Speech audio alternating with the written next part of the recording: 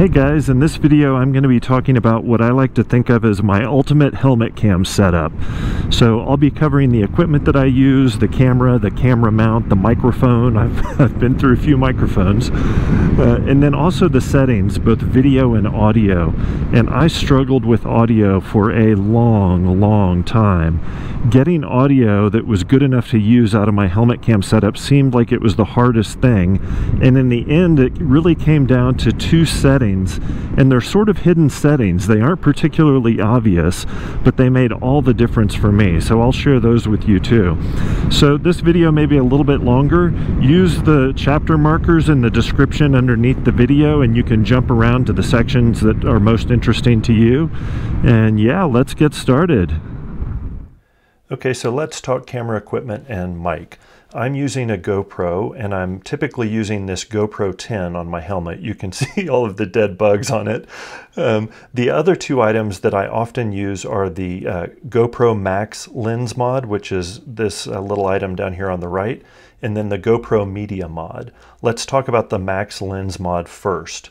Uh, it's an accessory lens and it replaces the lens cover on the GoPro. So you twist the lens cover, pop it off, and then you pop the, the Max lens mod onto the camera. And it has some advantages and it also has some drawbacks. The advantage is it gives you a wider, uh, a wider angle view, a wider field of view. And it also allows you to use uh, a type of leveling uh, or image stabilization called uh, horizon lock.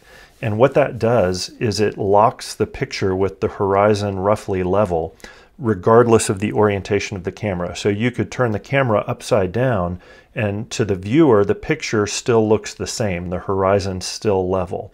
And what that means is when you have it on your helmet and you're riding, like let's say you're riding through a corner, the, the, the scene stays relatively level, but you see the movement of the bike. Um, the, the drawback is, I guess it's a couple of things. Um, some people like that look. Other people feel like it's too stabilized and they don't like the look, look of it.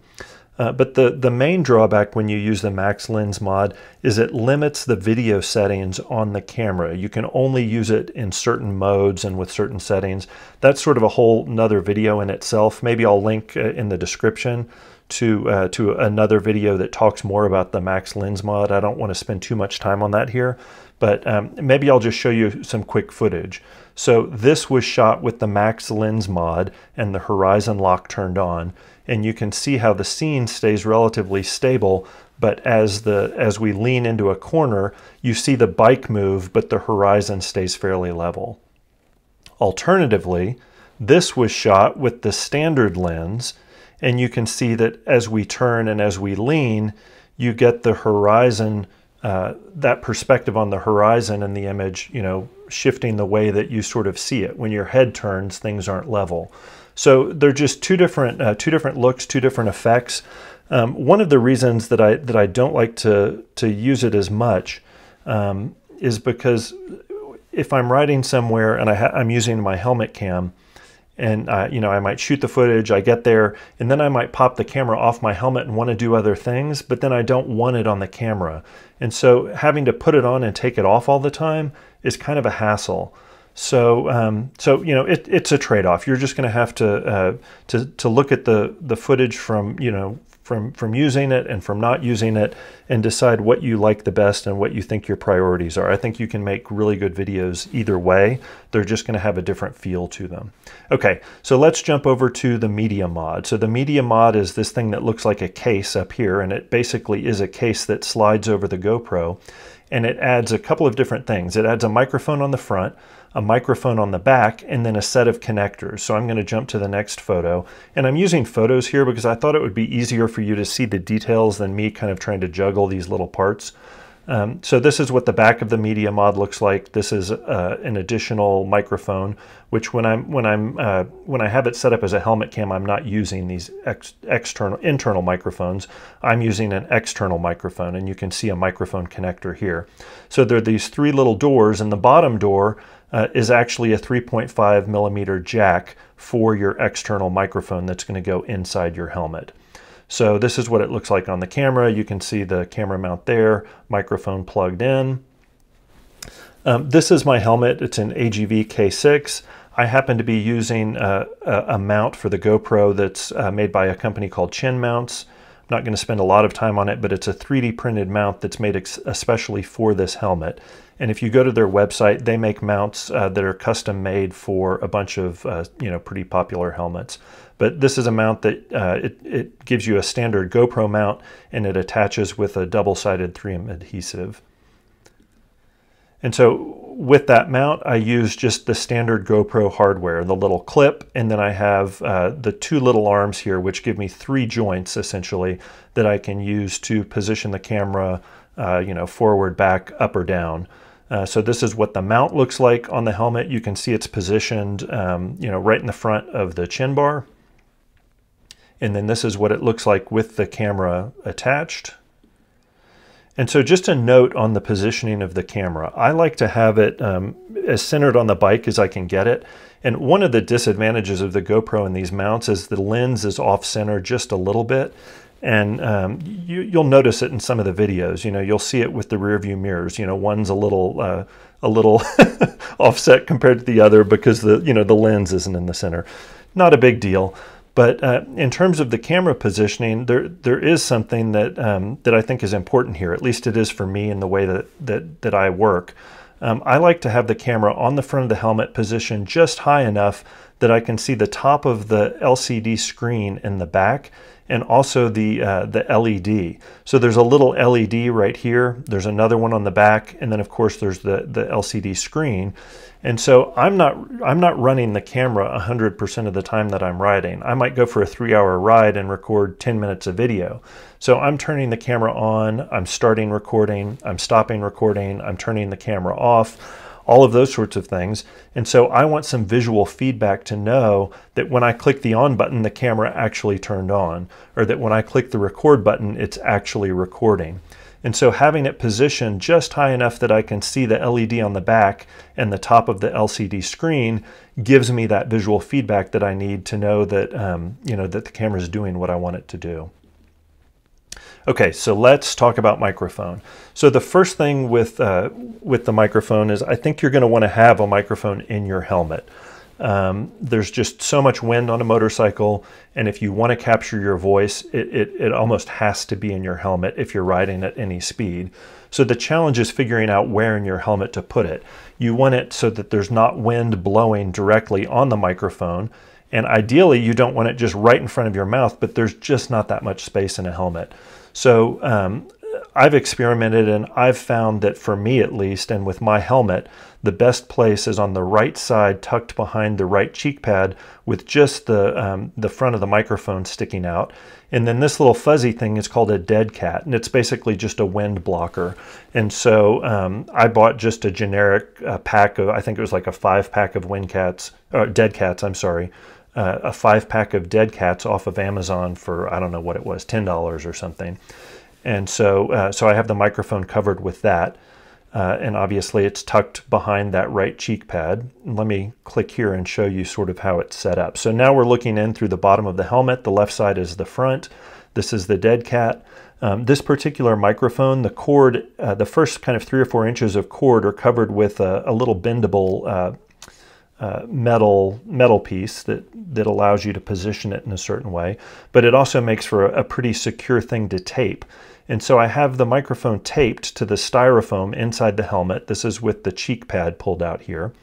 This is the end of that little metal piece, and then you can see the, the cable for the microphone coming around. And so it actually comes through the, the hole in the cheek pad where the helmet strap goes.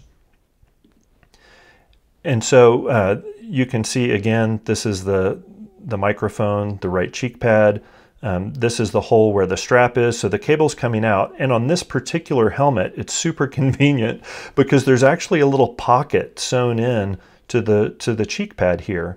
Um, and so I've, I've rolled up all of the extra microphone cable and just stuffed it into this little pocket, which is super convenient. My other helmets don't have that. So that's one thing that's nice about this helmet. Um, if you don't have that little pocket, you can roll it up and tape it underneath the, the cheek pad there. But on this helmet, I just stuff it in there. So the cable's coming down here, it's all rolled up there, and then it loops back down and around, and then it's ready to be plugged into the GoPro. So this is what it looks like uh, with the camera mounted and the mic plugged in. The cable comes down from that you know right side, uh, and then it comes right into that 3.5 millimeter audio jack on the uh, on the GoPro, actually on the GoPro Media Mod. So one note uh, about microphones. Um, I've, I've experimented with some high-end microphones, some cheap microphones.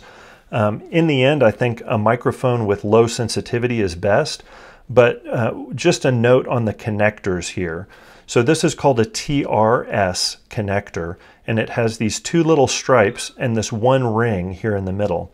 Um, you'll find some microphones, and they're typically the microphones that are uh, associated with uh, microphone headsets that will have three, three stripes and then two rings, and those are called TRRS, R being the ring. So you do not want the kind that has two rings because when you plug it into your GoPro, it's probably not going to work. You want two stripes um, and one ring. Okay, so this is the microphone that I'm using currently. Um, it is uh, just an inexpensive Chinese mic uh, that I got off of Amazon. It's being pitched as a moto vlogging microphone. Um, there's nothing special about a mic for moto vlogging other than the fact that it's going to have the kind of connector that you want and then it, it's of a size or a form factor that's going to fit uh, into your, your helmet. Um, and so this one kind of checks all of the boxes. I like the fact that it had this little metal bendable, they're calling it gooseneck here.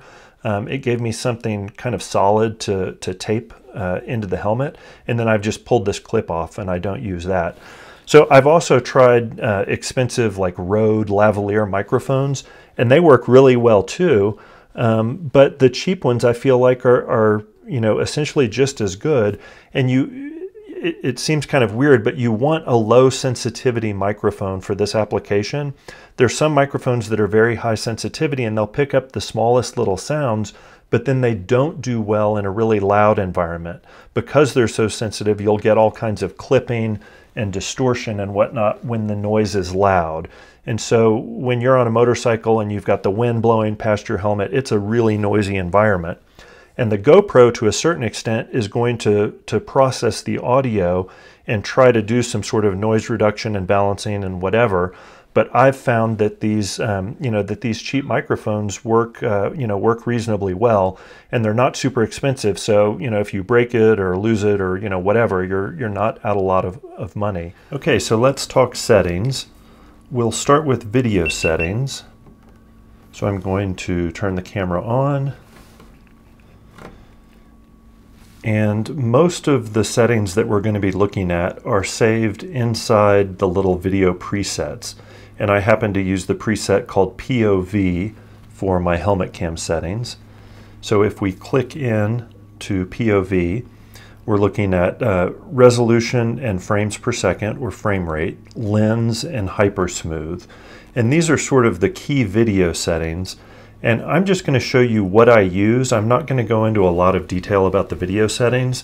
Um, I do want to highlight the fact that the settings that you choose in terms of resolution and frame rate um, and in terms of the, the hyper smooth or the stabilization, uh, they will affect quite a bit the way the camera processes images and the quality of those images. So rather than that, I mean, that's a whole video on it on its own. And rather than talk about that in detail, I'm going to link to a website. Um, there's a YouTuber and a GoPro employee named Abe Kislevitz, and he has a website that goes into super detail about all of the GoPro settings and it has um, a table of settings. I'll show it on the screen here. Um, so go to his website and look at look at that. Um, so I, I use uh, 4K 24 for my helmet cam. I've been using SuperView. Um, I also shoot in wide occasionally, uh, but SuperView gives the, the maximum field of view. And then I have the Hyper Smooth set on standard. Scheduled capture, duration, hindsight, timer, zoom, none of those are particularly relevant for us. As we scroll down, we get to ProTune. so I have the bitrate set on high. That means it's going to be a larger file size but higher quality. I have the shutter set on auto. Um, I have EV comp set on negative 0.5, so a half stop underexposed. And that just gives a little more color saturation and it keeps things like white clouds from losing detail. I have the white balance set to auto. Occasionally I will set that to 5000 degrees Kelvin, which is sunlight temperature, daylight temperature, uh, but auto should work for you most of the time. And then this is the thing that's that I think is kind of key here. The shutter auto ISO minimum 100, ISO maximum 400. So I would set the 400 maximum if I'm shooting in daylight in the middle of the day. So if it's a bright sunny day, I'm going to have that set on 400. Um, if it starts to get darker, if it's sunrise, sunset, cloudy day, I'm going to be going through tunnels, you know, anything like that, I'll bump up the maximum ISO to 800 or 1600 depending on the, the circumstances. And so some people with GoPros um, set a shutter speed and they want to basically have a certain ratio for their shutter speed and their frame rate. And I'm shooting at 24 frames per second because I like the feel that that gives. That's the lowest possible frame rate. If you look at the options, there's 24, 30, 60, 120, and 240. Um, the faster frame rates capture motion uh, more cleanly, if you will. Um, and then they also give you a faster frame rate. So if you want to do slow motion or something, it, it's easier to do slow motion. I'm not worried about that stuff with my helmet cam, cam setup. And I actually like the feel that the 24 frames a second gives. It feels a little bit more like traditional film and it gives a little bit of motion blur, particularly along the edges of the frame as you're moving the trees or the things along the side of the road tend to blur a little bit more, and I actually like that. So I, I use that 24 frames a second. And I keep the shutter on auto. As I mentioned before, there's some people that shoot for you know a ratio of, of you know shutter speed twice the frame rate or you know that sort of thing, and they end up having to use neutral density filters and go through all of this stuff. And for me, my priority is to just keep it as simple as I can. I don't want to do a lot of post production. I don't want to deal with filters. I just want to have a helmet cam that I can turn on and know that I'm getting you know good video. So these are the settings that I uh, that I would recommend that you start with. Um, so again, going back to the ISO, you know, if it gets dark, I'll bump that up to 800 or 1600. You know, if it's uh, if it's uh, lower light. Uh, the sharpness I have on medium, the color I have is natural. Um, Okay, so that, that basically covers it for the video settings. Okay, so let's talk audio settings. This is kind of where the rubber meets the road, and this is the thing that I finally figured out after so much experimentation. I kind of feel like an idiot that I didn't uh, didn't realize these things before, but I'm going to share them with you. So let's go back to the sort of main screen. So we have our, our video preset down here, POV, and we know that there's some audio settings in there but there's actually another area where there's some audio settings that are hidden. And if we swipe down and then we swipe across and we see preferences and we click on preferences, if we scroll down, first of all, under general, there's quick capture and quick capture is the setting that allows you to just click the, um, the record button here on the top and have the camera turn on, start recording. If you have quick capture off, you actually have to turn the camera on using the, the power button first, let the camera boot up, and then you can start recording using the, the shutter button on the top. And so one of the things that I discovered, and I don't know if they've fixed this in recent firmware updates, but the problem that I was having is that when I was using quick capture, I'd be riding along, the camera would be turned off, I'd click the shutter button, the camera would turn on and it would start recording. But for whatever reason, it would not recognize the fact that I had my microphone plugged in. So my helmet mic was not recording audio, it was recording audio using the internal microphone on the GoPro and the wind noise was horrible and you couldn't hear my voice. And so it would do that intermittently. Sometimes it would work with my mic, sometimes it wouldn't. And so I thought that I had a loose connection with the with the microphone and the camera. And so I spent so much time messing with that. So just make your life simple and turn quick capture off because then you definitely won't have that problem. So it could be that GoPro's fixed that. I haven't tested it and whatever, but I've just changed my workflow so that I don't have to worry about that at all. Okay, so, uh, so again, we're in this preferences menu. And if you scroll down a little bit further, you'll see mods. And mods would be the max lens mod, which we don't have on the camera right now, so that's hidden. And then the other setting is media mod. And so that's a, a mic setting here, and it says standard mic. And if you click that, it's not changeable, right? There's nothing there. But this refers to the external microphone that you're using. And so a standard mic would be um, a mic just like we're using like, uh, like a little lavalier mic that would plug in. So that setting looks good. And I'm going to come back to this because it's actually not good, but it, it looks like it should work. Okay, so let's go back and talk about the other settings first, and then I'm going to circle back around to that one. Okay, so we're, we're back in our video presets. I'm going to click on POV, and we're going to scroll down to the bottom part of ProTune, and there's some audio settings. So the first one is raw audio. Raw audio allows you to record, in addition to your video track, a separate audio track. And if you click on that, it gives you off, low, medium, and high. And this is uh, the amount of processing that the camera does to the audio track. And so if you have that turned on and you record a video, you're going to get a video file and then you're going to get an audio file with whatever level of processing you have set there. I don't use that because I don't want to have to sync audio after I record the video. Um, so I just keep that off.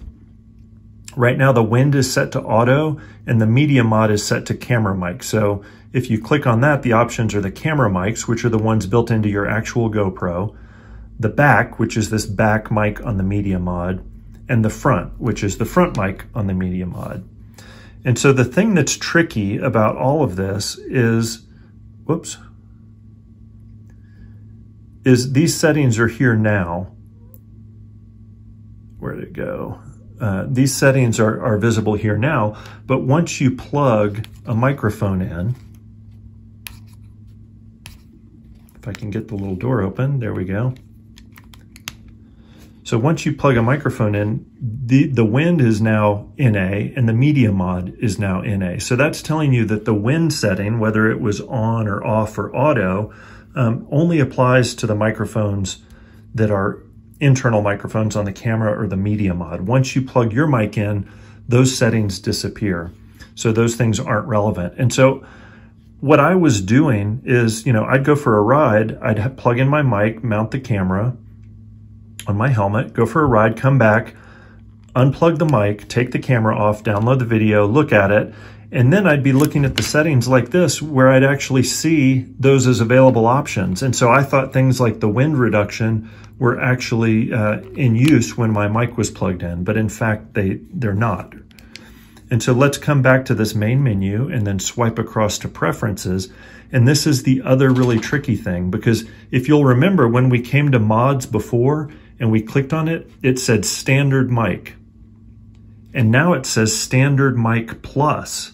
And if we click on it, instead of it not working, now we get a menu because the mic is plugged in. And the options are standard mic, standard mic plus, powered mic, powered mic plus, and line in.